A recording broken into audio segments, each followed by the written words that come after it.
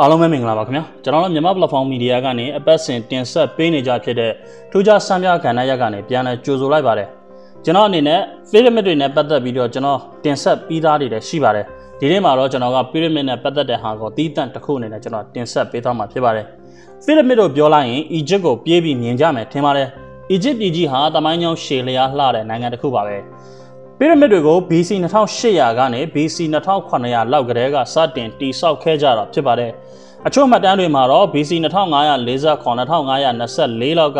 စတင်တည်ဆောက်တာလို့ဆိုထားပါတယ်။ကမ္ဘာအံပွဲ9ပါးထဲမှာတစ်ခုအပါအဝင်ဖြစ်ပြီးတော့ဂီဇာမှာရှိတဲ့မဟာပီရမစ်ကြီးကတော့အထင်ရှားပဲဖြစ်ပါတယ်။ဒီဘက်ခေတ်ပညာရှင်တွေကပီရမစ်တွေဘယ်လိုတည်ဆောက်တယ်လဲဆိုတာကိုလေ့လာနေကြပါတယ်။ပုံသဏ္ဍာန်အမျိုးမျိုးကွဲပြားတဲ့စာတမ်းတွေလည်းထွက်ပေါ်ခဲ့ပါတယ်။ ပီရမစ်တွေကိုတိဆောက်တဲ့အခါကြောက်တုံးတွေကိုဘယ်လိုတည်ဆောင်ခဲ့တာလဲဘယ်ကတည်ဆောင်ခဲ့တာလဲတည်ဆောင်တဲ့အခါမှာအချို့ကအတန်လှိုင်းတုံခါမှုနဲ့တည်နိုင်တယ်လို့ဆိုကြပါတယ်ဟုတ်ပြီဒါဆိုရင်အဲ့ဒီလောက်ကြီးမားတဲ့ကြောက်တုံးကြီးတုံးရွေ့လာဖို့အတန်လှိုင်းတုံခါမှုကိုဘယ်ကထွက်လွှတ်မလဲဒါနံပါတ်1စဉ်းစားစရာအချက်ဖြစ်ပါတယ်အချို့ကတော့ရေအားနဲ့လို့လည်းပြောကြပြန်ပါတယ်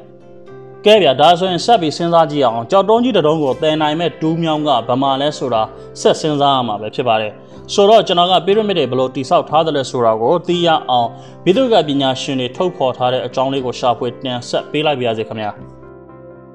ပီရမစ်တွေရဲ့တတန်းဟာနှစ်ပေါင်း2000ကျော်ရှိနေပြီဖြစ်ပေမဲ့အစဉ်အဆက်ဆွေးနွေးညင်းခုန်နေရဇက်ကတော့ဘလို့တိဆောက်ခဲ့ရတာလဲဆိုတာပဲဖြစ်ပါတယ်ပီရမစ်တစ်ခုတိဆောက်တဲ့အခါမှာနှစ်တန်ခွဲလောက်ရှိတဲ့ကြောက်တုံးတွေနဲ့တိဆောက်ရတာဖြစ်ပြီးလူပေါင်းသသိန်းလောက်ကလုံအားပေးရတယ်လို့နှစ်ပေါင်း20ကျော်အောင်တိဆောက်ရတာဖြစ်ပါတယ် အဲ့ဒီတော့လေးလွန်တဲ့ကြောက်တုံးကြီးတွေတည်ဆောင်ဖို့ကရိန်းတွေဘဲကရခဲ့တာလေကရိန်းတွေမရှိဘူးဆိုရင်ဂျိုသားတွေလာပြီးတိဆောက်ပေးတာလားဆိုပြီးတော့ငင်းခုန်နေကြပါတယ်မြမောက်ခေတ်ပညာရှင်တွေကတော့ theory နှစ်ခုကိုထုတ်ဖော်ထားခဲ့ကြပေမဲ့အဲ့ဒီ theory နှစ်ခုစလုံးကမမှန်ကန်နိုင်ဘူးလို့လည်းဆိုထားပြန်ပါတယ်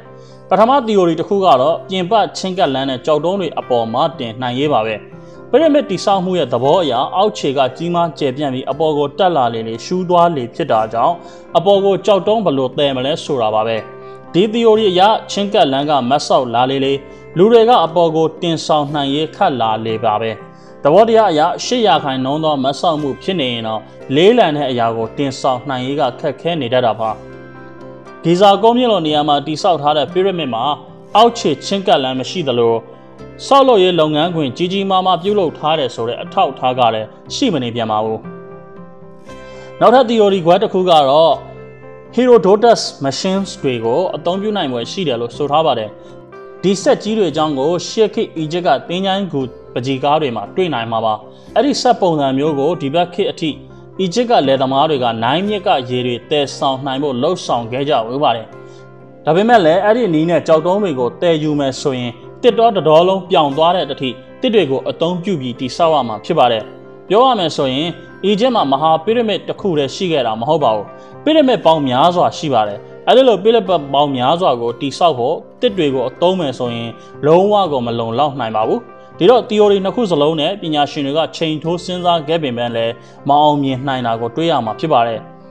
နောက်ထပ်အခြားသော theory ကတော့အတွင်းပိုင်းကိုအရင်တိဆောက်ခဲ့တာဖြစ်ပြီးအတွင်းပတ်လန်းတွေဖြစ်တဲ့စင်ချေချောလန်းတွေကနေကြောက်တုံးတွေကိုတည်ဆောင်ကြီးတော့မှအပြင်ပိုင်းနိုင်ငံတွေကိုမှန်ခဲ့တာလို့ပြောကြပြန်ပါတယ်ဒီ theory ကနီးစပ်တယ်ဆိုပေမဲ့လည်းအဲ့ဒီ short ဆောက်လန်းအတိုင်းတည်ဆောင်ရေးကဘလို့လုပ်ခဲ့တာလဲနောက်ပြီးတော့အပြင်ပိုင်းနိုင်ငံဖြစ်တဲ့တရိကန်ပုံစံရအောင်ဘလို့မှန်မလဲဆိုတာကဆက်ဆက်လာပြန်တဲ့အတွေ့ပဲဖြစ်ပါတယ် ဒါဆိုရင်တိဆောက်ရခက်ခဲတဲ့ pyramid တွေကိုဘာကြောင့်တိဆောက်ခဲ့တာလဲတိဆောက်ရတဲ့အကြောင်းရင်းကိုကျွန်တော်ကဆက်ပြီးတော့ပြောပြပေးသွားမှာဖြစ်ပါတယ်ခင်ဗျာအီဂျစ်သမိုင်းကျောင်းရဲ့အစကနဦးကာလမှာပြည်စုံကျွယ်ဝတဲ့သူတွေဟာ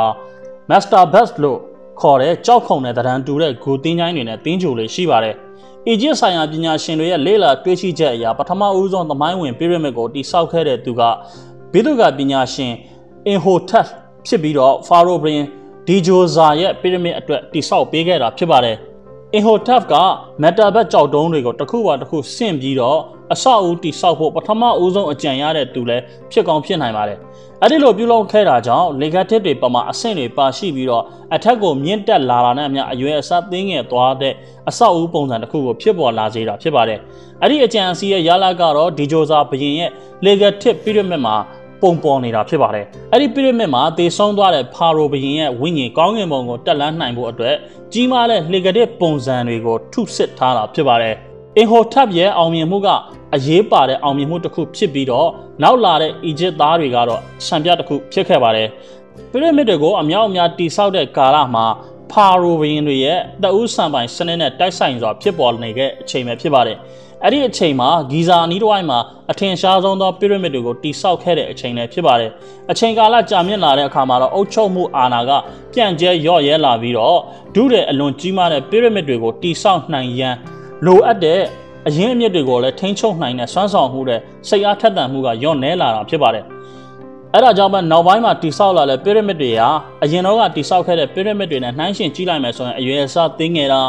တိဆောက်ထားတဲ့အခါမှာကောင်းကောင်းမွန်မွန်မရှိတာအလော30ဖြစ်နေတာတွေကိုတွေ့ရမှာဖြစ်ပါတယ်။အီဂျစ်တွေရဲ့ပီရမစ်တိဆောက်တဲ့အချိန်ကာလကျော်လွန်ကုန်ဆုံးပြီးနှစ်ကာလအတော်ကြာလာတဲ့အခါမှာလက်ရှိမှာတော့ဆူဒန်နိုင်ငံဖြစ်နေတဲ့နေရာမှာအီဂျစ်ကနာပါတာဘရင်တွေလက်ထက်ကိုရောက်လာခဲ့ပါတယ်။နာပါတာဘရင်တွေရဲ့လက်ထက်ကိုအရောက်မှာတော့ပိရမစ်တိဆောက်မှုပြန်လဲထွန်းကားလာခဲ့တာပဲဖြစ်ပါတယ်။နာပါတန်တို့ရဲ့အုပ်ချုပ်မှုဟာကာလတိုတောင်းပြီးတော့ BC 662ခုနှစ်မှာကုန်ဆုံးခဲ့ပေမဲ့လည်း အီဂျစ်တွေရဲ့လွှမ်းမိုးမှုကဖျောက်ဖျက်မရနိုင်တာကြောင့်တော်တော်လေးကိုအားကျစေရာဖြစ်တယ်လို့အတူယူစရာလည်းဖြစ်စေခဲ့ပါတယ်။နောက်ပိုင်းကာလလက်ရှိဆူဒန်လို့ခေါ်တဲ့နေရာမှာရှိတဲ့မီရိုဘရင်ခေအာခမန်းကြီးအပြင် BC 300ကနေ AD 300လောက်အတွင်းမှာဖြစ်နိုင်ပါတယ်။အဲ့ဒီအချိန်မှာပိရမစ်တိဆောက်တာကလည်းအကြီးအကျယ်ကိုပြန်လဲထုံးကားလာခဲ့ပြန်ပါတယ်။အဲ့ဒါကြောင့်ပဲ ကိုယ့်ရဲ့ကိုပိုင်မဟုတ်ပေမဲ့လည်းအီဂျစ်ရဲ့လွှမ်းမိုးမှုဟာတော်ဝင်ပိရမစ်ဂူတင်းချိုင်း200ကျော်ကိုမြို့တော်နဲ့အနီးတစ်ဝိုက်ဒေသမှာတိစောက်ခဲ့ကြတာကိုတွေ့နိုင်မှာဖြစ်ပါတယ်။ဒါကရှေ့ခေတ်အီဂျစ်ရဲ့လွှမ်းမိုးမှုအကြောင်းလေးပဲဖြစ်ပါတယ်။ဆိုတော့အီဂျစ်တွေနဲ့ပတ်သက်တဲ့ဒီမျိုးရိုးစင်ဆက်တွေကဘာကြောင့်ပီရမစ်တွေကိုတိစောက်တယ်လဲဆိုတာအနည်းငယ်သိရှိသွားပြီထင်ပါတယ်။